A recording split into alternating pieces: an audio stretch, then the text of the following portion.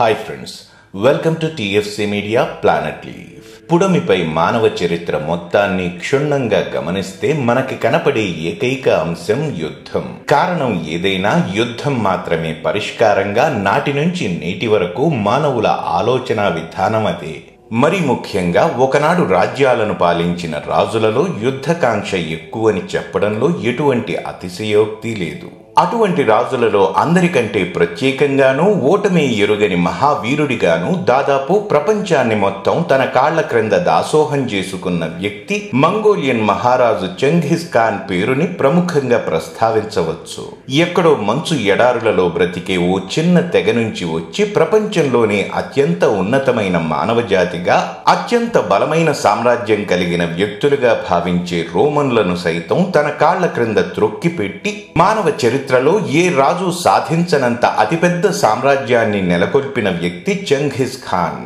అసలు ఓటమంటూ లేకుండా ముందుకు సాగిపోయిన చెంఘిస్ ఖాన్ మన భారతదేశంపై మాత్రం దాడి చేయలేకపోయాడని మీకు తెలుసా? అదేంటి? ఓటమంటూ ఎరుగని చెంఘిస్ ఖాన్ మన దేశంపై ఎందుకు దాడి చేయలేకపోయాడు? అసలు అతడు మన దేశంపైకి దాడికి ఎందుకు వచ్చాడు? ఇంతకీ చిన్న తెగకు చెందిన వ్యక్తి అంత పెద్ద చక్రవర్తిగా ఎలా ఎదిగాడు? వంటి అనేక ప్రశ్నలు మనలో చాలా మందికి తలెత్తుతాయి. వాటికి సమాధానం తెలియాలంటే ఈ వీడియోను పూర్తిగా చూడండి. భారతదేశంపై చెంఘిస్ ఖాన్ దాడి చేయలేకపోవడం వెనుక ఉన్న అసలు కారణాలను తెలుసుకునే ముందు అతడి చరిత్రను ఓసారి పరికించి చూడాల్సిందే. పన్నెండవ శతాబ్దంలో మంగోలియా మొత్తం చిన్న చిన్న రాజ్యాలుగా విడిపోయి ఉండేది. ఆయా రాజ్యాలను వివిధ తెగలకు చెందిన మంగోలియన్ ప్రజలు పాలించేవారు. ఆ కాలంలో ఈ తెగల మధ్య పచ్చగడ్డి వేస్తే భగ్గుమనేది. ఒక విధంగా నాడు చైనాను పాలించిన పాలకులు కూడా మంగోలియాలో ఉండే తెగల మధ్య చిచ్చు పెడుతూ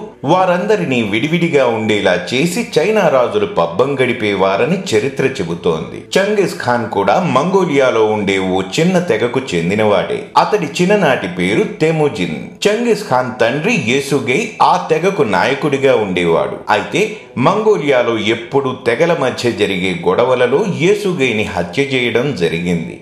తండ్రి చనిపోవడంతో తెముజిన్ ఆస్తిపాస్తులను అందరూ కలిసి దోచేసి వారి కుటుంబాన్ని ఒంటరిగా వదిలేశారు. దాంతో చిన్నతనం నుంచి ఎన్నో కష్టాలను ఓర్చుకుని తన కుటుంబం అనుభవిస్తున్న పేదరికానికి కారణమైన అందరిపై ప్రతీకారం తీర్చుకోవాలని నిర్ణయించుకున్నాడు. తన లక్ష్య సాధనకు డబ్బు కంటే ముఖ్యంగా అధికారం సంపాదించడమే పరమావధిగా ముందుకు సాగాడు తెముజిన్.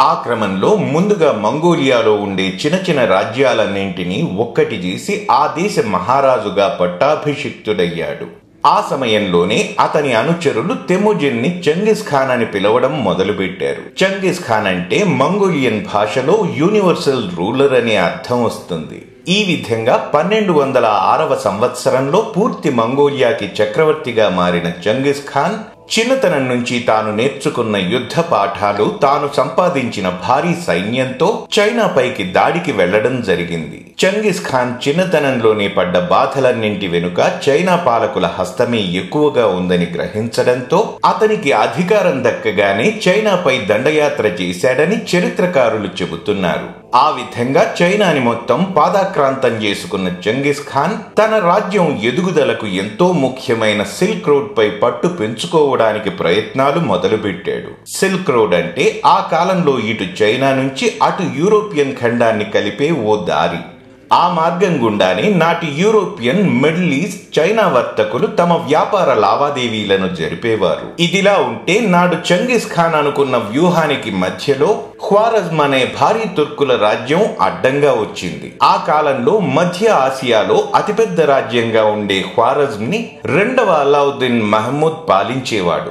సిల్క్ రోడ్ పై తన వ్యాపారం సవ్యంగా సాగాలంటే ఖ్వారజ్మ్ పాలకుల అండ అవసరమని మొదట భావించిన చెంగిస్ ఖాన్ సంధి కోసం రెండుసార్లు అధికారులను పంపడం జరిగింది. అయితే మొదటిసారి వచ్చిన అధికారిని అల్లావుద్దీన్ తల నరికి చంపినా మరో అవకాశం అన్నట్లు రెండోసారి ముగ్గురు అధికారులను చెంగిస్ ఖాన్ పంపాడు. అయితే ఈసారి కూడా అల్లావుద్దీన్ ఆ ముగ్గురిలో ఒకరి తల నరకగా మరో ఇద్దరు తప్పించుకుని మంగోలియా పారిపోయి రావడం జరిగింది. ఈ అవమానాన్ని తట్టుకోలేని చెంగిస్ ఖాన్ వెంటనే తన దారిలో వచ్చిన ప్రతి గ్రామాన్ని ప్రతి నగరాన్ని భూస్థాపితం చేస్తూ ముందుకు సాగిపోయాడు. చంగీస్ ఖాన్ సేనలు చేసిన ఆ దాడిలో కాబుల్ ఘజ్ని కాందహార్ వంటి మహానగరాలు మొత్తం నాశనమవ్వగా అక్కడి ప్రజల రక్తం ఏరులై పారింది. ఇక చెంగిస్ ఖాన్ చేతిలో చావు తప్పిందని భావించిన అల్లావుద్దీన్ కాస్పియన్ సీలోని ఓ దీవికి పారిపోయాడు. అలా పారిపోయిన అల్లావుద్దీన్ కొన్నేళ్ళకే అదే దీవిలో చనిపోయాడు. ఇదిలా ఉంటే అల్లావుద్దీన్ కొడుకైన జలాలుద్దీన్ మక్బుర్ని తన దగ్గర మిగిలిన సైన్యంతో భారతదేశం వైపు ప్రయాణమై ఇండస్ రివర్ దగ్గర ఒక అనువైన స్థానంలో చెంగిస్ ఖాన్ పై దాడి చేయడానికి కాపు కాచాడు. చెంగిస్ ఖాన్ కూడా తన సేనలతో ఖైబర్ పాస్ ద్వారా జలాలుద్దీన్ ఉన్న ప్రదేశానికి చేరాడు. అయితే చెంగిస్ ఖాన్ మహాసేన వారి యుద్ధ తంత్రాల ముందు జలాలుద్దీన్ సేన మొత్తం అంతమైపోయింది. దాంతో జలాలుద్దీన్ నాడు ఢిల్లీని పాలిస్తున్న టర్కీ రాజు షంసుద్దీన్ ఎల్తుత్మిష్ దగ్గర ఆశ్రయం పొందాడు. ఆ సమయంలో చెంగిస్ ఖాన్కి ఢిల్లీ సుల్తానులను కూడా ఓడించి భారతదేశంపై పట్టు సాధించడం అంత కష్టమైన పని కాదు. నాడు అతని విశాల సేన ముందు కేవలం ఒక ఇండస్ రివర్ మాత్రమే అడ్డుగా ఉంది. మంగోలియన్ సేన ఆ నదిని దాటి భారతదేశంలోకి ప్రవేశించే ప్రయత్నాలలో ఉన్న తరుణంలో అనుకోని విధంగా చెంగిస్ ఖాన్ వెనుతిరిగి వెళ్ళిపోయాడు. ఆ కాలంలో బంగారు గూడుగా పేరు తెచ్చుకున్న పెద్ద దేశం నాటి ప్రపంచ జీడిపిలో దాదాపు ముప్పై శాతం ఆదాయం కలిగి ఉన్న బంగారు కోశాగారం లాంటి భారతదేశాన్ని వదిలి చంగిస్ ఖాన్ వెనక్కి వెళ్ళిపోవడం ఇప్పటికీ ఒక అంతు తెలియని రహస్యంగానే ఉండిపోయిందని చరిత్రకారులు చెబుతున్నారు.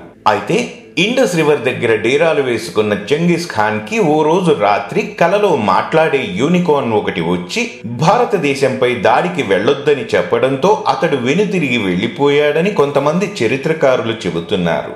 కానీ మరికొంతమంది చరిత్రకారులు మాత్రం మంగోలియాలో ఉండే ప్రజలు అనాదిగా టెంగ్రిజం అనే మతాన్ని అనుసరించడమే కాకుండా వారిలో చాలామంది బౌద్ధ మతాన్ని కూడా అనుసరించేవారట. ఈ రెండు మతాలకు జన్మస్థానం భారతదేశంలో ఉండే హిందూ మతమేనని అటువంటి నేలపై రక్తం చెందించడం ఇష్టం లేకనే చెంగిస్ ఖాన్ వెనుతిరిగి వెళ్ళిపోయాడని తక్కిన చరిత్రకారుల వాదన.